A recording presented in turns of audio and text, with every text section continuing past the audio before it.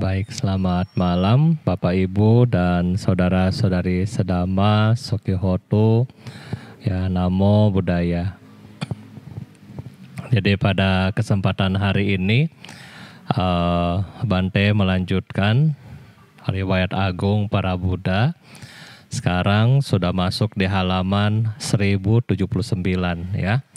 Dan di saat ini topik yang kita akan bahas sekaligus yang kita akan renungkan pada malam hari ini bagaimana Sang Buddha melerai ya perang antara suku Sakya dan suku Kolia. Nah, jadi Bapak Ibu, kita tahu bersama bahwa suku Sakya dan suku Kolia ini berdekatan ya, berdekatan. Jadi kalau misalnya kita pernah ke Nepal di Taman Lumbini, Taman Lumbini itu tengah. Jadi 16 km dari Taman Lumbini ini ada kerajaan Sakya ya, Kapilawastu di sana. Dan 16 km sebelah kiri daripada Lumbini ada tempat suku Kolia. Nah, jadi mereka memang berdekatan Bapak Ibu ya. Dan kemudian di sana mereka hidup dengan rukun dan di tempat itu sampai hari ini masih negara agraris ya. Mereka banyak yang menjadi petani. Tentunya petani membutuhkan air dan di sepanjang uh, mereka menanam, nah di situ ada sungai Rohini. Suatu ketika Bapak Ibu, Sungai Rohini ini ya namanya Anica ya, mengering.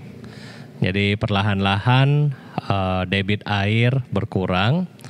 Nah, sehingga karena debit air ini berkurang, petani sudah mulai panik, sudah mulai khawatir. Aduh, nanti sawah di tempat saya nggak ini nih, nggak panen suku yang lain juga Kapilawastu juga suku Sakya juga bilang iya nanti kita juga nggak panen. Akhirnya kedua suku ini mereka mengadakan pertemuan. Ya di dalam pertemuan itu para petani membahas mengenai sudahlah siapa yang mau mengalah ya. Jadi antara petani berkumpul mereka musyawarah. Sayangnya Bapak Ibu nggak ada yang mau kalah ya Kira-kira ada yang mau kalah nggak? Sesama apa? Jangankan gara-gara air ya. Kadang-kadang kita aja kakak adik gara-gara duit saling lapor sampai pengadilan. Sama, apalagi ini beda suku ya, beda negara. Nah jadi pada akhirnya nggak ada yang mau kalah. Pokoknya permohonan dari suku Kolia misalnya, sudahlah air kasih saya tahun ini biar kita mau panen. Suku Sakya bilang, kalau kalian yang panen tuh saya makan apa? Jadi berantem seperti itu ya. Nah akhirnya para petani saling marah, saling ya nak mau kalah ya, saling berantem, saling olok mengolok dan pada akhirnya mereka melaporkan ke masing-masing menteri dan dari menteri laporan sampai ke raja. Akhirnya raja juga sampai marah dan pada akhirnya mereka berdua memutuskan untuk perang. Ya, jadi mereka berdua, dua negara ini, dua suku ini pada akhirnya mereka mau perang. Nah, Bapak Ibu, kemudian ini singkat cerita ya, Bante sudah singkat cerita. Kemudian Sang Buddha, dia tahu bahwa kalau tidak ditolong, maka kedua suku ini akan berantem. Terjadi uh, ya apa pertumpahan darah yang harusnya tidak perlu dilakukan ya. Saat itu Sang Buddha berada di wihara Jetawana. Ya, kalau kita kemarin masih ingat cerita yang kemarin Sang Buddha masih ada di Raja Griha. Nah, sekarang Sang Buddha sudah pindah di Jetawana Arama di Sawati ya. Jadi memang di daerah um, Jetawana ini sangat dekat dengan Kapilawastu. Kalau misalnya kita ambil garis lurus ya. Kalau sekarang kita pakai jalan dan ada border antara beda negara lebih susah. Tapi kalau kita ambil garis garis lurus antara Sawati sama um, Kapilawastu itu kurang lebih nggak sampai 4 jam kalau kita naik mobil ya. Itu nggak sampai 4 jam. Nah pada akhirnya Sang Buddha tahu bahwa ya kalau sampai terlambat terjadi pertumpahan darah karena hal-hal yang sepele, ya hal-hal yang sepele. Pada akhirnya setelah Sang Buddha melaksanakan pindapata, beliau kemudian menggunakan ya kesaktiannya terbang ya di sini disebutkan beliau terbang terbang di ham dikatakan medan pertempuran ya jadi kedua suku ini sudah siap berperang dan tiba-tiba Buddha muncul di hadapan mereka Pertama-tama muncul Buddha mengeluarkan cahaya yang berwarna biru dari rambutnya. Ya, kalau kita bilang rambut dari sang Buddha, kalau biasanya Bapak Ibu lihat warna hitam, sebenarnya uh, di dalam beberapa teks karena Buddha memiliki Mahapurisa, rambutnya itu agak biru dongker ya, agak biru dongker bukan hitam, tetapi agak biru ya. Dan um, birunya mungkin seperti lapis lazuli ya kalau Bapak Ibu pernah lihat atau pecinta batu lapis lazuli uh, birunya biru gelap. Nah, di medan pertempuran ini kemudian Sang Buddha mengeluarkan cahaya biru dari ujung rambutnya sehingga walaupun masih ada matahari, masih siang, tiba-tiba suasana langsung menjadi gelap dan para suku para raja, tentara, semua takut ya, mereka semua takut merasa bersalah bahwa karena mereka sampai Sang Buddha datang di tempat itu. Ya, kemudian mereka takut, mereka mulai takut, mulai malu. Nah, pada akhirnya suku Kapilawas, suku Sakya dari Kapilawastu, mereka meletakkan senjata, mereka menghormat Sang Buddha. Mereka berpikir, udahlah, kita mau diserang, mau dibunuh, pokoknya ada Buddha, kita nggak mau melakukan pembunuhan. Ya pada akhirnya mereka lepas senjata, mereka melakukan namaskara sama Sang Buddha. Sebelah pihak dari suku Kolia juga melakukan hal yang sama. Mereka juga meletakkan senjata karena mereka bilang Sang Buddha ini adalah saudara kita sendiri. Ya, jadi mereka juga melepaskan senjata, melakukan penghormatan kepada Sang Buddha. Selanjutnya Bapak Ibu, Sang Buddha bertanya kepada para raja, ya. Kenapa kalian tiba di tempat ini? Kemudian masing-masing pihak mulai ya berargumen ya bahwa kami datang di sini untuk berperang. Kenapa berperang? Karena petani ya, petani dari suku Kolia mengolok-olok kami kaum suku Sakya.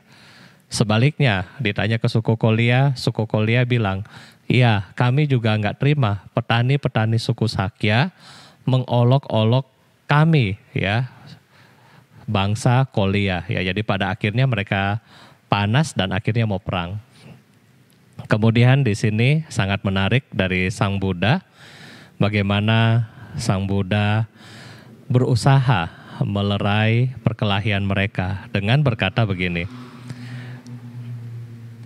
Yang mulia, maksudnya di sini adalah para raja yang datang di situ.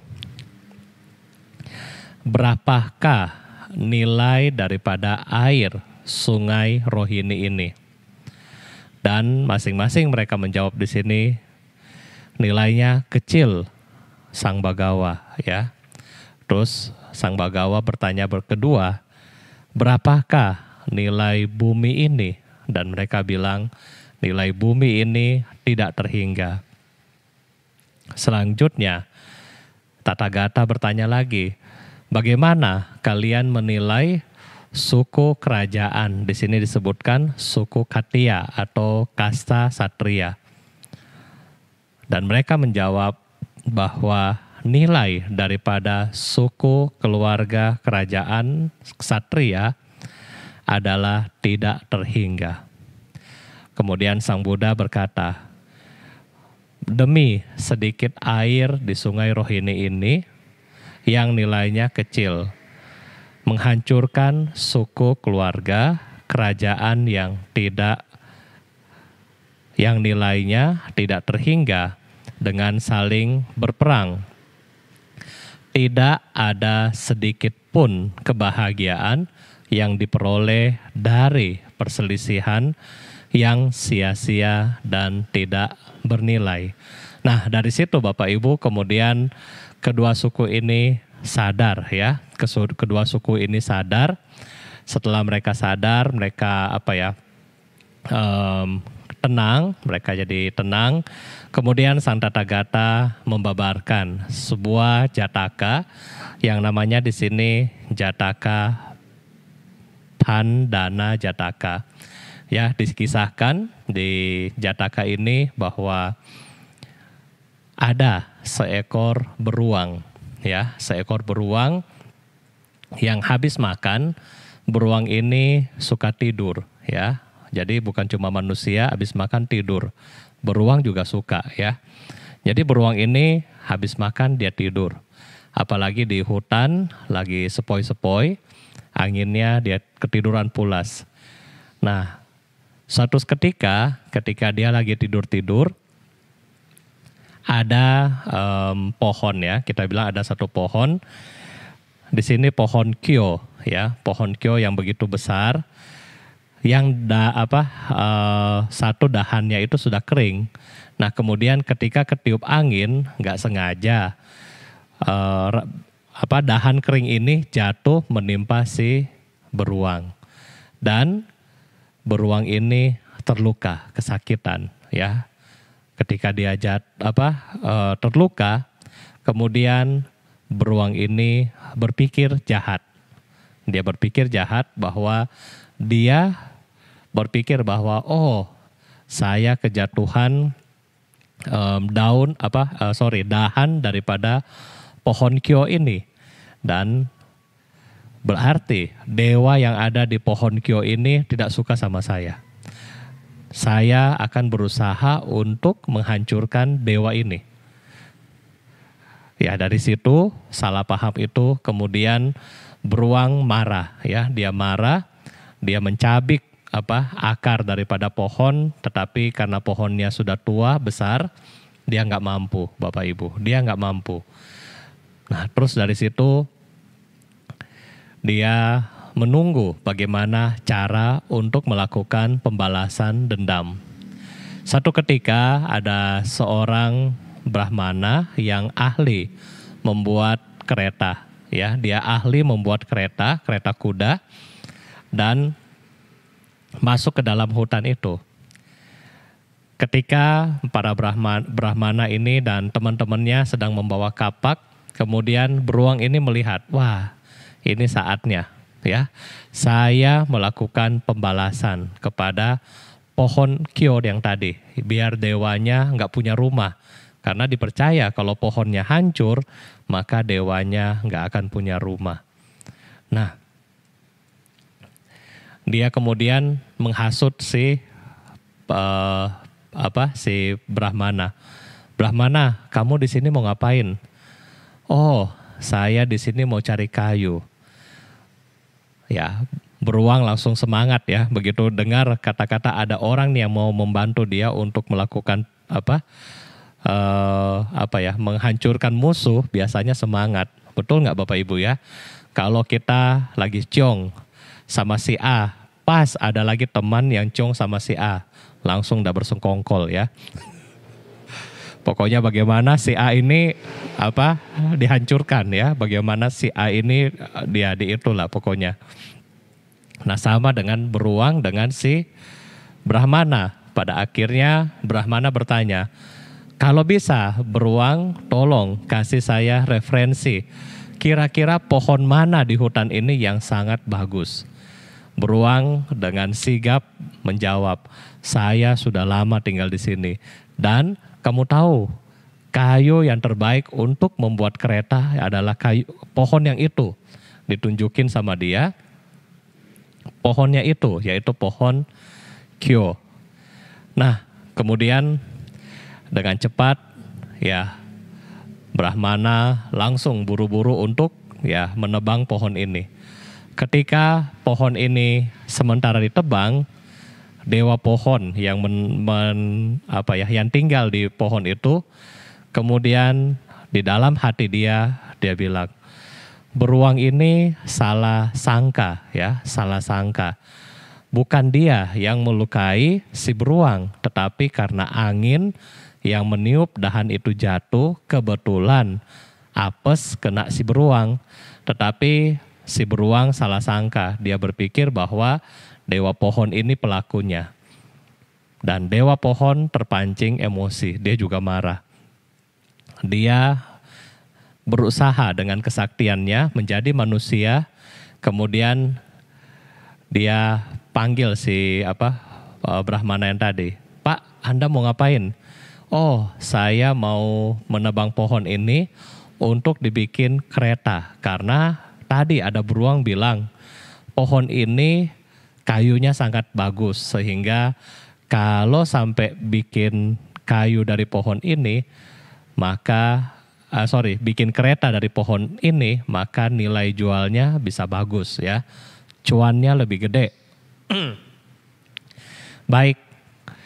Tahu nggak pak kalau misalnya kereta Bapak dihiasi dengan ikatan dari kulit beruang, itu akan menambah nilai daripada keretanya.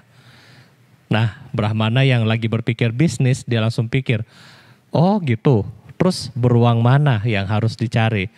Itu beruang tadi yang yang tunjukin pohon ini ke Bapak, tangkap itu. Kemudian kuliti dia dan jadikan dia sebagai alat pengikat di dalam kereta Bapak. Nah, pada akhirnya setelah menebang pohon selesai, kemudian si Brahmana ini juga menangkap beruang. Nah, jadi Bapak Ibu, Sang Buddha memberitahu kita di sini bahwa itulah asal usul ya, sehingga hal-hal yang sangat sepele membuat kita ciong ya, seperti suku Sakya dan suku Kolia tadi. Karena hal-hal yang sepele dan ini berasal dari mana? Berasal dari kehidupan mereka sebelumnya di mana yang satu jadi beruang, yang satu jadi dewa pohon. Terikut sampai mereka di zaman Sang Buddha dan mereka menjadi salah satu pemimpin di suku Kolia dan satu pemimpin di Kapilawastu. Nah, oleh karena itu Bapak Ibu kita sudah belajar cerita malam ini jangan lagi satu jadi dewa yang terpancing emosinya, terus yang satu jadi beruang yang salah sangka. Di dalam hidup kita, Bante tahu banyak hal-hal yang sepele yang membuat Anda ciong dengan orang lain, ya. Banyak sekali hal-hal yang kadang-kadang simple, tetapi seperti pertanyaan kemarin dari Ciseni Salek kalau nggak salah, kadang-kadang uh, apa masalah simple ya sampai kadang-kadang ya di luar batas. Ya mungkin marah benci sampai pembunuhan dan seterusnya ya. Kadang-kadang cuma masalah simpel. Kita lihat di dunia ini sama. Sampai terjadi perang dagang sampai terjadi apa uh, perang itu dari hal yang mana? Dari hal yang simpel. Kalau kita melihat sejarah-sejarah ya sejarah-sejarah kenapa perang, kenapa sampai apa terjadi ya sengketa dan seterusnya itu dari salah paham. Kadang-kadang ya hanya salah bicara, kemudian angkat senjata, perang dan seterusnya. Nah, oleh karena itulah kita sudah tahu cerita malam ini. Yang pertama adalah jangan jadi orang yang cepat salah sangka, ya. Salah sangka. Kalau misalnya yang salah sangka biasanya ibu-ibu tuh cepat cepat sekali curiga ya. Suaminya pulang telat terus sudah salah sangka. Papi dari mana? ya. Sama bapak-bapak juga. Kalau ibunya ke wihara terus selalu salah sangka. Udah kamu tinggal di wihara aja dengan bante. ya jadi itu salah sangka. Jadi dari salah sangka ini timbul semuanya ya, timbul curiga, timbul ya emosi, timbul ya semuanya muncul. Jadi kita jangan gara-gara hal yang ini salah sangka menyebabkan ya kita apa uh, terjadi permusuhan, terjadi pertengkaran dan um, apa ya sampai terjadi ya mungkin yang tadi tindakan-tindakan kriminal ya. Yang kedua adalah kita melihat ya salah sangka itu kadang-kadang nilainya kecil. Mana yang lebih penting gara-gara Anda salah sangka atau sampai kadang-kadang nyawa orang bisa berjalan apa bisa pergi gitu ya. Ya kan? Kadang-kadang karena salah sangka bikin pencemaran nama baik, bikin hoax, bikin apa dan seterusnya. Gara-gara salah sangka, salah sangka ya. Jadi seperti kita lihat kasus dari gara-gara air di sungai sampai mereka mau berperang. Ya, jadi nah hari ini banyak sekali yang kita pelajari mengenai salah sangka, ya. Jangan salah sangka. Dan yang kedua, jangan juga seperti dewa pohon. Ya, dewa pohon itu sudah tahu beruang itu salah sangka, tetapi karena kepancing emosi akhirnya mau membalas. Ya. Akhirnya mau membalas. Kita lihat cerita daripada beruang dan dewa pohon dewa pohon tetap aja rumahnya hancur, rusak, pohonnya ditebang. Tetapi dia juga nggak gangguan, rumah saya hilang. Kamu bunuh tuh beruang. Akhirnya satu hilang rumah, satu hilang nyawa. Ya, jadi jangan juga seperti dewa pohon ya. Kita apa ketika masalah-masalah datang sama kita, kemudian kita nggak terima ya. Kita mencari kambing hitam, kita kadang-kadang mau melakukan pembalasan dendam. Ya, kalau kita sudah belajar karma, harusnya ya telinganya jangan tipis ya. Jangan apa? Jangan gampang curiga. Nah, kemudian juga ketika kita lagi kena musibah, kita anggap bahwa musibah ini adalah kondisi karma buruk kita yang sedang berbuah. Ya, kita nggak usah melakukan pembalasan dendam kembali ya. Nah jadi hari ini mungkin ini yang bisa Bante sampaikan kepada Bapak Ibu. Apalagi Bapak Ibu di hari saat ini lagi PPKM. Lagi ketemu dengan anak mungkin istri, apa suami istri di rumah. Semua nggak ke mana-mana ya. Jadi jangan saling curiga di rumah ya. Kok apa istri saya pegang HP terus, jangan-jangan lagi ngapain? Kok suami saya lagi itu nonton apa nonton YouTube terus, jangan-jangan lagi nonton apa? Gak usah, gak usah saling curiga begitu ya. Gak usah saling curiga. Jadi jangan sampai ya itu gara-gara hal yang kecil Anda semua di rumah menjadi apa uh, muncul emosi-emosi yang tidak apa tidak baik yang menyebabkan tidak harmonis di dalam rumah.